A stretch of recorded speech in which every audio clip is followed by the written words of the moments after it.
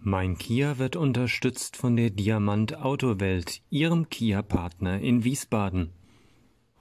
Das ist es also, das Objekt der Begierde, der Kia Stonic GT-Line. In dieser Ausstattungsvariante steht der Wagen jetzt hier bei uns. Und wir werden uns jetzt Stück für Stück dieses Fahrzeug erarbeiten. Erarbeiten heißt, erklären werde ich natürlich alles. Wie funktioniert dieser Wagen? Angefangen von den einfachsten Dingen wie Sitzeinstellungen, aber bis hin zum Multimedia-System. Und es gibt natürlich auch jede Menge Technik, die wir entdecken können bei diesem Wagen, bei diesem Kompakt- oder Baby-SUV, wie ich ihn immer nenne. Das ist nämlich der kleinste SUV oder das kleinste Crossover von Kia momentan im Modellprogramm. Den gucken wir uns jetzt Stück für Stück in den kommenden Videos an.